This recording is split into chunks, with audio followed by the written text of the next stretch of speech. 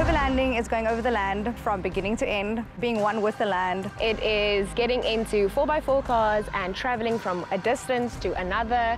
Not really planning, just moving with the sun, chasing the sun. Overlanding is like traveling. Being part of the land. Spread love, meet people, take it in, and just really connect with nature. It's the only thing that you can buy that makes you richer. We'll be traveling along the Namakwa Eco Trail. The longest 4x4 trail in South Africa. Along the way, we'll be experiencing missions where we have to work as a team, navigate and unlock new experiences, share our love with the communities that we pass along the way, and of course, unlock beauty of this country that again, you have not experienced before. Welcome to new experiences. Welcome to Ubuntu. Welcome to OvaLandr.